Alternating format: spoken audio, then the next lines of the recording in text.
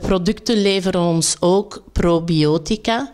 Uh, probiotica uh, zijn micro, levende micro-organismen die de darmflora van de gastheer positief gaan beïnvloeden. De laatste jaren wordt er enorm veel aandacht besteld aan deze probiotica en men is vast van overtuigd dat zij een rol kunnen spelen in de preventie van bepaalde ziekten.